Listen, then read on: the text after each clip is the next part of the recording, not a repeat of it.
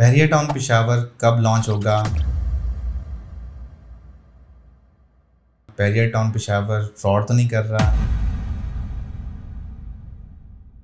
बहरिया town Peshawar ने recently जो pre launch में लोगों से पैसे इकट्ठे किए डीलर से और मार्केट से काफ़ी बड़ी अमाउंट में पैसा उठाया, उसका बहरिया टाउन का क्या स्टंट था और क्या ये एक सिटी हाउसिंग से मुकाबले के लिए सिर्फ़ एक स्टंट था?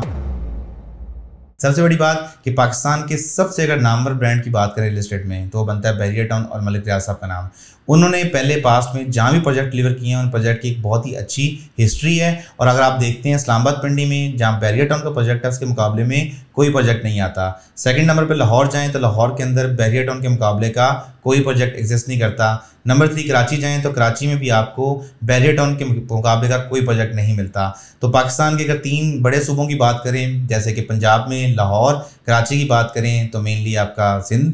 नंबर थ्री इस्लामाबाद की बात करें तो दारकूमत और पिशावर जो है, वो नंबर फोर पर आता है। पिशावर में बैरियर टाउन लॉन्च कब होगा और बैरियर टाउन रिसेंटली जो डीलर्स की एक ऑथराइजेशन के लिए रजिस्टर करने के लिए उनसे सवा करोड़ से लेके पाँच लाख पाँच लाख से सवा करोड़ की अमाउंट जो रिसीव की है, उसका क्या फ्यूचर होगा?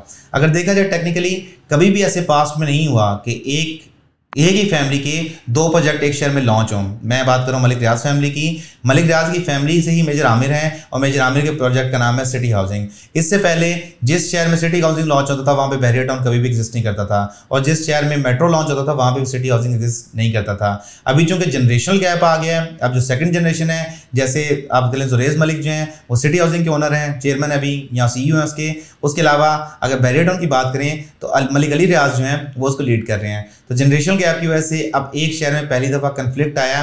सिटी हाउसिंग की सक्सेस को रोकने के लिए मेरा ख्याल है कि बैरियर टाउन ने सडनली एक प्रोजेक्ट लॉन्च किया बैरियर टाउन पिशावर के नाम से।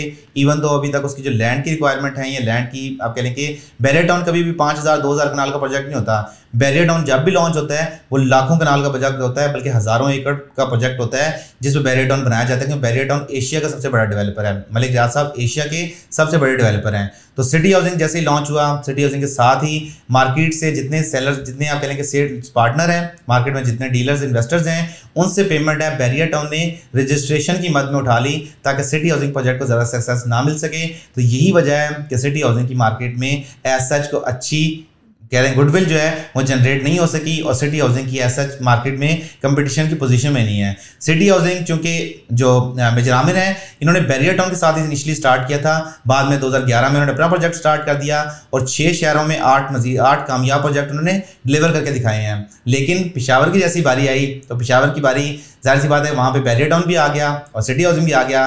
तो जहाँ पे बैरियर टाउन आता है तो मुकाबले में कोई प्रोजेक्ट स्टैंड नहीं करता। अब let's see city housing Bahria town जब डिलीवर होगा सिटी हाउसिंग जब डिलीवर होगा और मुकाबले में जब बैरियर टाउन डिलीवर होगा तो दोनों प्रोजेक्ट में से कौन सा प्रोजेक्ट होगा, वो फ्लैगशिप प्रोजेक्ट बन के सामने आएगा। मेरी ज़ाती राय है कि पिशावर बैरियर टाउन को अभी कम अज़ कम तीन से छः माह का टाइम लगेगा ऑन ग्राउंड आने के लिए या उसकी लॉन्चिंग के लिए। एक महीने बाद मेरे में फॉर्म्स आ जाएँगे बैरियर टाउन पिशावर के, उसकी फॉर्म के बाद मार्केट में ट्रेडिंग स्टार्ट हो जाएगी। जैसे पहले बैरियर टाउन में होता है, उसके बाद फिर आगे मेरा ख्याल है कि नेक्स्ट ईयर फ़र्स्ट क्वार्टर में जाके बैरेटॉन पिशावर की लॉन्चिंग आएगी। इस साल, क्योंकि इलेक्शन का साल है इलेक्शन होने हैं, और इलेक्शन के साल के दौरान मेरा नहीं ख्याल है कि बैरियर टाउन पिशावर लॉन्च होगा, क्योंकि जितने भी इन्वेस्टर्स हैं, जितने मेजर स्टेक होल्डर हैं पाकिस्तान में, वो बैरियर टाउन के साथ बहुत ज़्यादा इन्वेस्ट करते हैं, और बैरियर टाउन के जो प्रोजेक्ट्स होते हैं, उनमें अगर आप बात करें जिस भी चीज़ की लॉन्चिंग की तो वो सैकड़ों की फॉर्म में नहीं, या दसियों की फॉर्म में नहीं, हज़ारों की फॉर्म में होते हैं। वहाँ विलास लॉन्च होते हैं तो विलास वहाँ पे पाँच छः हज़ार विलास लॉन्च होते हैं। वहाँ पे रेजिडेंशियल प्लॉट हों तो हज़ारों प्लॉट रेजिडेंशियल होते हैं। कमर्शियल प्लॉट्स हों तो सैकड़ों प्लॉट कमर्शियल होते हैं। तो इस वजह से मेरा ख्याल है कि अगले, आप कह लें कि तीन से चार माह में बैरियर टाउन की कुछ ना कुछ मार्केट में अपडेट्स आती रहा करेंगी, लेकिन with the passage of time Bahria town जो है, वो पिशावर में लॉन्च होगा, क्योंकि पिशावर के पी के का दारकूमत है और वहाँ पे कभी भी ऐसा नहीं हो सकता कि बैरियर टाउन वहाँ पे नाम ले और लॉन्च ना करे।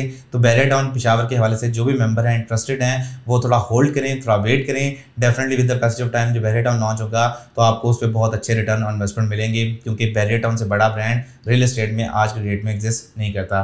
फ्यूचर का पता नहीं है बट आज की डेट में टाउन सबसे बड़ा ब्रांड है। सो फिर this was it from day अगर आपको टाउन में या किसी भी हाउसिंग सोसाइटी में बुकिंग वाले कुछ मालूम चाहिए हो तो देखिए नंबर रब्ता करें। इसके साथ साथ हमारी वेबसाइट विज़िट करना मत भूलें W W W dot Makaan solution dot com अगर आपकी वीडियो अच्छी लगे तो please like comment and share और चैनल को सब्सक्राइब करना मत भूलें। रिजवान जी मक दीजिए इजाज़त। अगली वीडियो तक के लिए खुदा हाफिज़।